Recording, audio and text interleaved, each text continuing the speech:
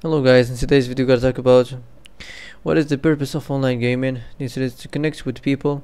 So that's for today, I hope this is the answer you've been looking for. If you like this video don't forget to like and subscribe and see you in the next video.